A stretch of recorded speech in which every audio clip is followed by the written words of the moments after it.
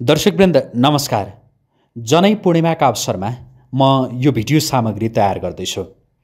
जनै लगाउनुका फाइदाहरू के के छन् यो जनै कतिको विज्ञानसम्मत छ यसलाई किन लगाइन्छ यसका वैज्ञानिक पक्ष र यसका शास्त्रीय पक्षमा केन्द्रित रहेर आजको यो भिडियो सामग्री यहाँहरू सामु प्रस्तुत गर्ने मैले जमर्को गरेको छु।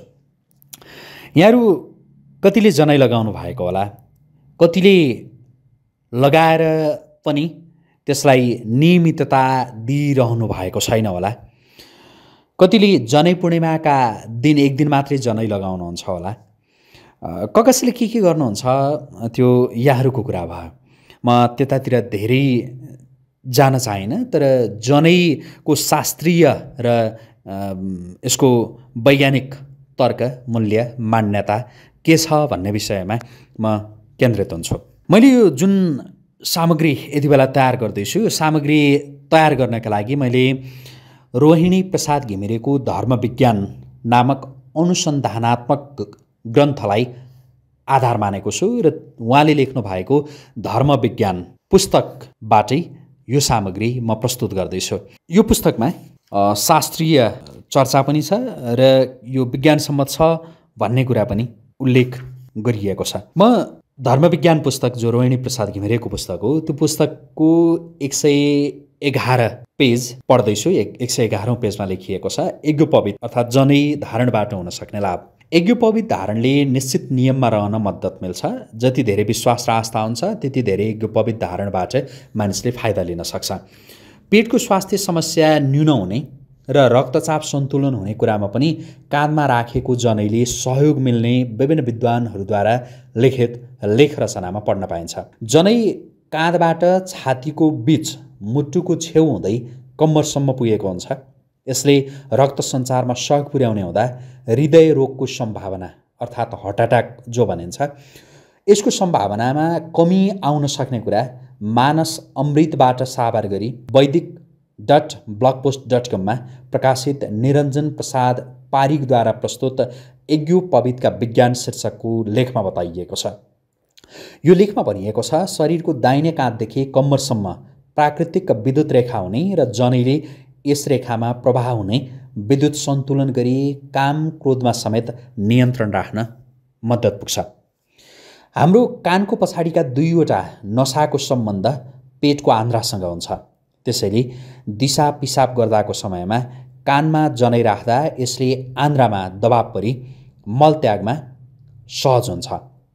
कानको जनैले रक्तचाप सन्तुलनमा ल्याउन पनि मद्दत पुग्ने हुन्छ रक्तचाप बढेको समयमा यसलाई सन्तुलनमा ल्याउनका लागि कतिपयले कानमा मसाज गर्ने गरेको हामीले देखेका पनि छौँ। साथै दायाँ कानको नसा अण्डकोषसँग जोडिएको हुनाले कानमा जनै राख्दा शुक्राणुको समेत रक्षा हुने बताइएको छ। कानमा लपेटिएको जनैले सूर्य नाडी जागृत हुन मद्दत पुग्ने कुरा पनि छ। हाम्रा पूर्वजहरूले शौच गर्ने बेलामा कानमा जनै राख्ने गर्नुको पछाडिका यस्ता रहस्यहरूलाई पारिकले बुदागत रूपमा आफ्नो लेखमा प्रस्तुत गरेका छन्। यहाँ सन्दर्भवश संक्षेपमा उल्लेख गरेको हुँ भनेर रोहिणी प्रसाद घिमिरेले धर्मविज्ञानमा भन्नुभएको छ। उहाँ लेख्नुहुन्छ जनै धारण गर्ने व्यक्ति नियममा बाँधिएको हुन्छ। उसले जहाँ पायो त्यहीँ र जे पायो त्यही सेवन गर्दैन। यसले गर्दा उसलाई स्वस्थ रहन मद्दत पुग्ने नै भयो। मलमूत्र त्याग गरिसकेपछि गुप्ताङ्गसहित हात गोडा धुनुका साथै मुख कुल्ला गरेर मात्रै कानबाट जनै उतार्नुपर्ने हुँदा विभिन्न किटाणुको सङ्क्रमणबाट बस्न समेत मद्दत मिल्दछ। यज्ञोपवित अर्थात् जनैका विषयमा कुरा गरिरहँदा यज्ञोपवित धारण गरेपछि नियमित गायत्री मन्त्र जप्नुपर्छ। गायत्री मन्त्रलाई सबैभन्दा उत्कृष्ट मन्त्रको रूपमा लिन्छ मन्त्रबाट तरङ्ग पैदा हुन्छ। सोही तरङ्गले शक्ति पैदा भई तेज बढ्छ। जे होस् मन वचन र कर्मको तादात्म्यता यज्ञोपवितले गरेको हुन्छ। तर सांसारिक मोह माया ममता त्यागेर सन्यास धारण गरेकाहरूका लागि जनैको औचित्य छैन भनिन्छ। त्यसैले उनीहरूले जनै लगाएको देखिँदैन। गृहस्थ ब्रह्मचर्य र वानप्रस्थको अवस्थामा यज्ञोपवित धारण गरी नियममा रहनुपर्ने हुन्छ। यी सबै कुरालाई विचार गर्दा विधिसम्म तयार गरी मन्त्रिएको यज्ञोपवित धारणमा अनन्त विज्ञान लुकेको नकार्न सकिन्न। यसबारे धार्मिक बेत्तासहितको वैज्ञानिक टोलीले गहिरो अनुसन्धान गर्नुपर्ने हुन्छ। यो यज्ञोपवित र ब्रह्माण्ड यो शीर्षकमा उहाँले लेख्नु भएको कुरा म जस्ताको तस्तै प्रस्तुत गर्दैछु। उपनयन संस्कारका क्रममा यज्ञोपवित धारण गर्ने परम्परा सनातनदेखि चलिआएको हो। आजकल समाजमा देखाउनका लागि धुमधामसँग व्रतबन्ध त गरिन्छ तर जनै लगाएर नियमित गायत्री मन्त्र जप्नेहरू कम हुँदै गएका छन्। हुन त धार्मिक मान्यताप्रतिको आस्था घट्दै गएका कारण जनै लगाउने परम्परा लोप हुन लागेको हो। नियमपूर्वक जनै लगाएर गायत्री मन्त्र जप्नाले धर्म हुने कुरा त आफ्नो ठाउँमा छँदैछ। मानसिक एवं शारीरिक स्वास्थ्यमा समेत सकारात्मक प्रभाव पर्छ भन्ने कुरा हाम्रा धर्मशास्त्रीहरूले बुझाउन नसक्नु नै यसप्रतिको विश्वास घट्नु हो। बरु स्विट्जरल्यान्डका नागरिक रुडोल्फ होगरले नेपालमा समेत आएर अध्ययन गरी द सेक्रेड थ्रेड नामको यज्ञोपवित सम्बन्धी पुस्तक नै लेखेका छन् जुन पुस्तक सन् दुई हजार चौधमा प्रकाशित भएको थियो।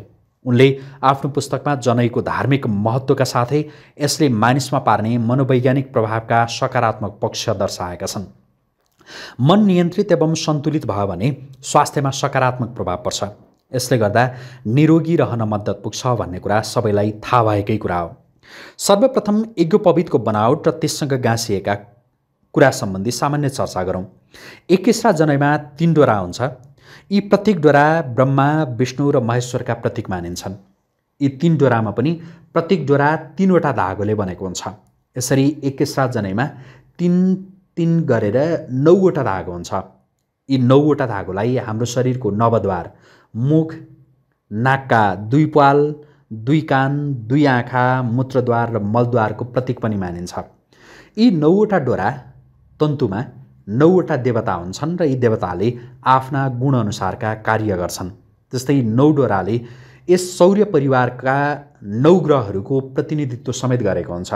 त्यसै गरी ती नौ डोराभित्र हुने मसिना नौ इन्टु तिन सत्ताइसवटा धागोले अश्विनी आदि सत्ताइस नक्षत्रको प्रतिनिधित्व गरेको हुन्छ। यसले गर्दा यज्ञोपवित धारण गर्ने व्यक्तिमा देवताहरूसहित नवग्रहको सकारात्मक प्रभाव पर्ने हुँदा शारीरिक एवं मानसिक स्वास्थ्य प्रबल हुन मद्दत पुग्ने धार्मिक मान्यता छ।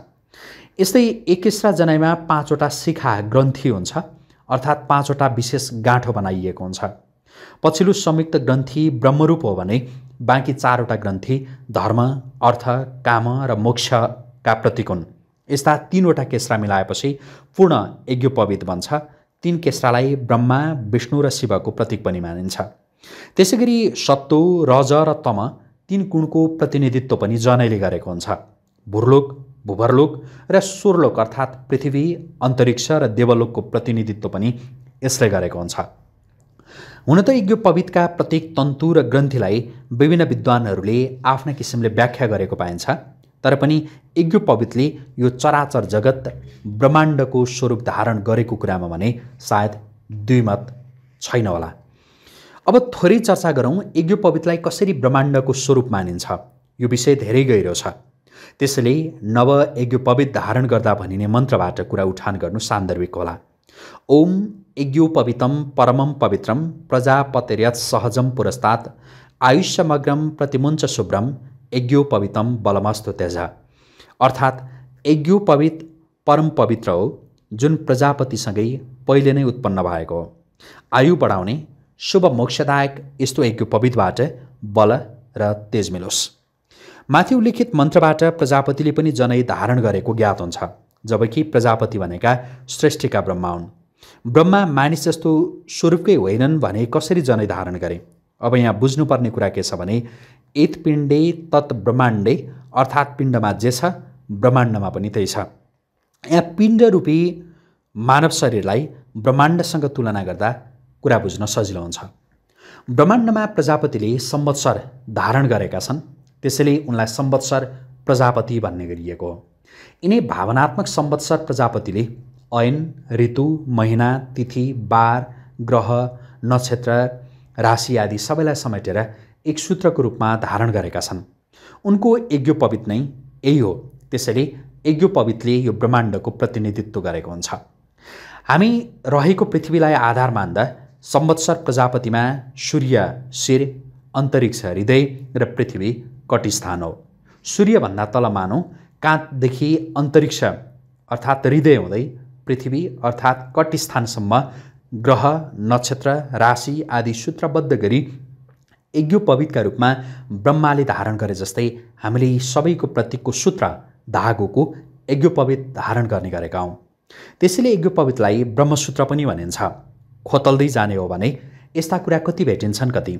सूर्य दक्षिणायन कर्कट रेखाभन्दा तल हुँदा जनै दाहिने काँधमा र सूर्य उत्तरायण मकर रेखाभन्दा माथि हुँदा जनै देब्रे काँधमा अनि सूर्य भूमध्य रेखाको क्षेत्रमा हुँदा जनै कण्ठी अर्थात् गलामा गर्नुपर्ने हो।